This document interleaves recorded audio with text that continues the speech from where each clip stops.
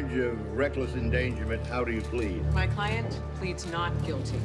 And for bail? People request remand, Your Honor, given the violence of the attack and the callous disregard for the victim afterwards. Mr. Martin is a first-time offender with a young son. He's no flight risk. Agreed. I'm setting bail at $20,000.